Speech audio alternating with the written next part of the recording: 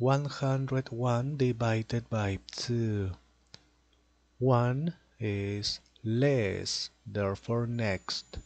10 is not less, therefore with 10.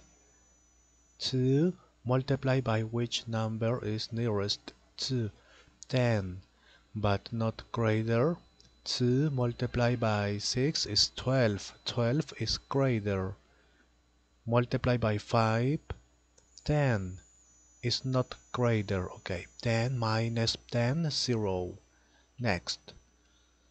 Eliminate 0 on this side. 1 is less therefore next. That is not number. Therefore complete always complete with zero. Two numbers therefore zero point. Zero point because here two numbers okay?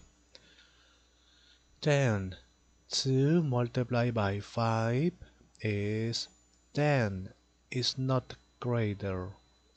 Subtract 0 0 therefore finish it. 101 divided by 2 is here. Okay